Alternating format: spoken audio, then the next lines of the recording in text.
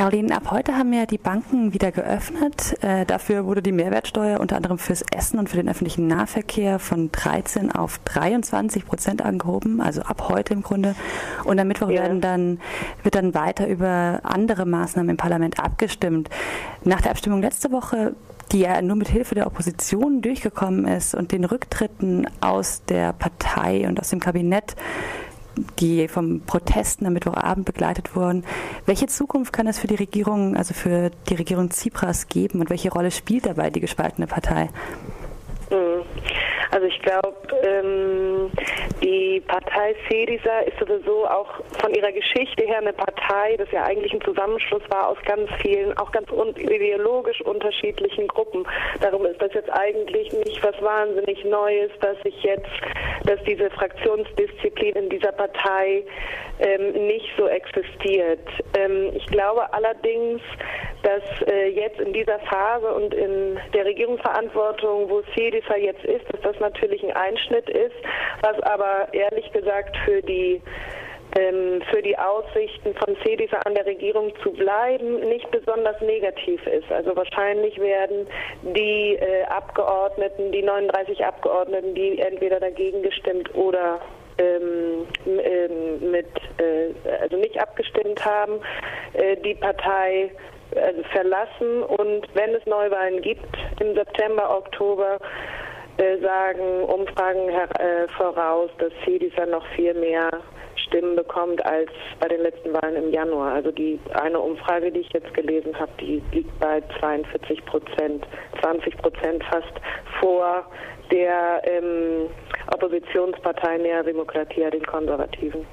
Wie erklärst du dir das denn? Weil Tsipras ist ja eigentlich äh, mit seinen Versprechen, die er vor der Wahl gegeben hat, äh, nicht durchgekommen, beziehungsweise die hat er gebrochen und steht, wie er selbst ja sagte, auch nicht hinter dem Reformpaket, das, äh, über das am Mittwoch abgestimmt wurde und das er selbst ja, mit Wie erkläre ich mir, dass er dafür abgestimmt hat oder dass er sich jetzt im Endeffekt doch dahinter gestellt hat? Ähm, das aber auch, äh, wie erklärst du, dass die Partei den Umfragen zufolge dann trotzdem noch an Stimmen zulegen kann?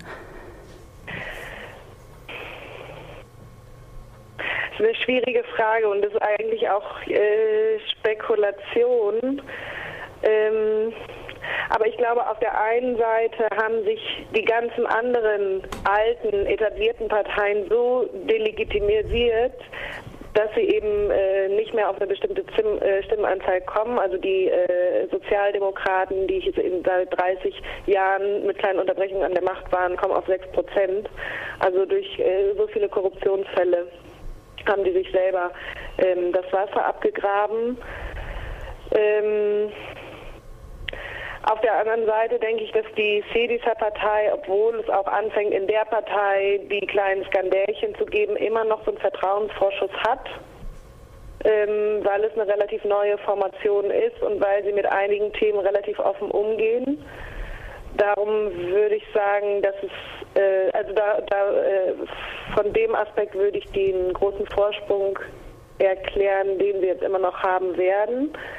Ähm, warum jetzt Tsipras die Kehrtwende gemacht hat, ist, glaube ich, eher in der eher in der Außenpolitik zu suchen, also in der Politik mit der Europäischen Union. Also ich glaube, er hatte seiner, ich äh, sage nicht, dass ich äh, der Entscheidung äh, zustimme, aber ich glaube, er hatte einfach keine andere Möglichkeit mehr gesehen, mhm. ähm, als, als jetzt im Endeffekt einzulenken. Mhm.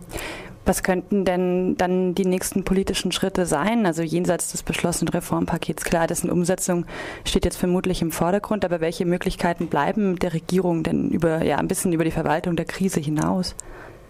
Ja, das frage ich mich auch, weil ich meine, ich habe ähm, mit unheimlich vielen Leuten geredet in den letzten in der letzten Woche auch auf, äh, es gab hier witziger, witzigerweise eine Konferenz mit dem schönen Titel Democracy Rising, wo auch viele von den Syriza-Abgeordneten, die mit ähm, die gegen das Paket gestimmt haben, gesprochen haben, ganz viele Wissenschaftlerinnen aus der ganzen Welt.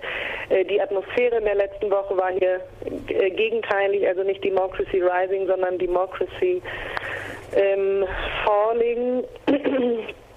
Aber Ähm, das war nochmal die, die Ausgangsfrage. Ja, welche, ich hatte gefragt, welche Möglichkeiten die Regierung jetzt überhaupt hat und was nächste Schritte ah, ja, sein genau. könnten. Und ähm, ich glaube, dass viele auf dieser, darum bin ich darauf gekommen, dass viele auf der Konferenz eben daraus aus waren, dass, dass sie sagen, okay, ähm, der hat jetzt, der hat jetzt unterschrieben, aber vielleicht kann er dann in der Umsetzung doch noch so ein bisschen links sozialdemokratischen Turn schaffen und die Maßnahmen eben nicht so umsetzen, wie die vorgegeben sind von den äh, Geldgebern. Allerdings haben die Geldgeber durch die ähm, Erfahrungen, die sie auch in den letzten äh, fünf Jahren mit den Griechen gemacht haben, jetzt eine so starke Kontrolle durchgesetzt von den einzelnen Maßnahmen, dass ich da eigentlich relativ wenig Spielraum sehe. Also ähm, jedes Gesetz, was ähm, jedes Gesetz, was irgendwas zu tun hat mit einer Finanzgesetzgebung, mit ökonomischer Gesetzgebung, muss abgenickt werden von der äh, von der Troika. Also ähm, so eine starke Kontrolle wie jetzt durchgesetzt werden soll von den Institutionen, ähm, war eigentlich noch nie da. Darum sehe ich auch äh, nicht den Spielraum, den Tsipras meint zu haben. Mhm. Ja, wenn du gerade diese Kontrolle ansprichst, ähm, die die Troika ausübt oder ausüben kann jetzt, ähm, dagegen haben sich ja auch viele der Proteste letzte Woche gerichtet. Wie hast du denn diese Proteste erlebt? Wer geht denn da überhaupt auf die Straße und wie groß ist der Druck, den die DemonstrantInnen auf Tsipras ausüben können vielleicht? Mhm.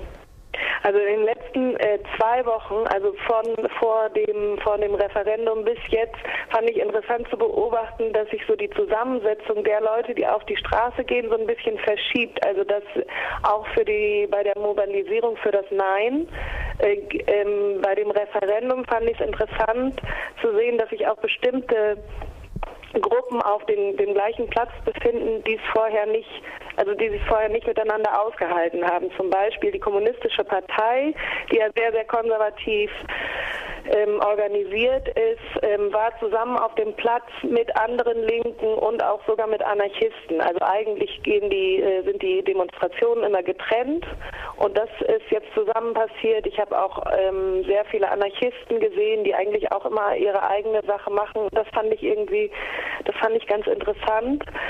Ähm, äh, jetzt in der letzten Woche ähm, ist es spannend zu sehen, dass es eine riesengroße Enttäuschung gibt unter den Linken, die Syriza gewählt haben. Ähm, was aber auch damit zusammenhängt, dass eine sehr große Hoffnung auf der einen Seite in die Syriza als Regierungspartei gelegt wurde, auf der anderen Seite ähm, denke, also beurteile ich das auch so, dass es so eine bestimmte mit, äh, mit einer bestimmten Naivität zu tun hat. Also natürlich, wenn man auch die letzten sechs äh, Monate beobachtet hat, weiß man, in was für Zwängen sich erstens die Partei ähm, befindet. Auf der anderen Seite ähm, hat man auch schon in den letzten zwei Jahren gesehen mit einer schleichenden Hierarchisierung der Partei, dass es nicht mehr die Grassroot-Wurzelpartei ist, diesmal war. Also von daher, wenn man jetzt so super enttäuscht ist, hat es auch damit zu tun, dass man vielleicht die letzten zwei Jahre nicht so viel mitgekriegt hat, glaube ich. Mhm. Also sozusagen die, die Basis von Syriza geht vielleicht auf die Straße, aber deine, äh, deine Beobachtung ist, ist dass das ähm, eine Basis ist, die im Prinzip keine, keinen Einfluss mehr oder keine Kontrolle auf die, auf die Partei hat. Also der Einfluss, was ich jetzt, ich war am Freitagabend auf einer Verhandlung, äh, auf einer Versammlung, das war total interessant, weil da ziemlich viele Leute waren aus dem äh, Syriza Zentralkomitee. Das hat in so einer äh, Besetzung stattgefunden oder Besetzung ist ein Sozialzentrum, was sich hauptsächlich mit Migrationsthemen beschäftigt, was sehr, sehr äh, stark geprägt ist von äh, Syriza-Mitgliedern und äh, anderen linksradikal, also anderen eher linksradikalen Parteien. Und äh, da hat ein äh, Mitglied des Syriza Zentralkomitees erzählt, das besteht aus 200 Leuten und soll eigentlich koordinieren, wie, wie die Parteipolitik ähm, strukturiert werden soll. Der hat erzählt, dass sie, dass sie entmachtet wurden sozusagen und dass sie, also das demokratische Komitee, was die Spitze eigentlich äh, steuern soll, ähm, eigentlich überhaupt keine Macht mehr haben. Also es sind nicht nur die Grassroot-Leute in der Partei, die ähm, das Gefühl haben, okay, sie haben keinen Einfluss mehr, sondern auch die Leute des Zentralkomitees. Und das finde ich schon ähm, interessant zu sehen, wie sich je mehr äh, die Partei sich in Machtpolitik verflechtet, auch in ihrer eigenen Partei eben die Stimmen ausräumen will, die, äh, die äh, gegen die Politik der Regierung sind. Okay, vielen Dank nach Athen, Caroline Philipp, und noch einen schönen Morgen trotz allem. Okay, danke. Vielen Dank. Tschüss. Tschüss.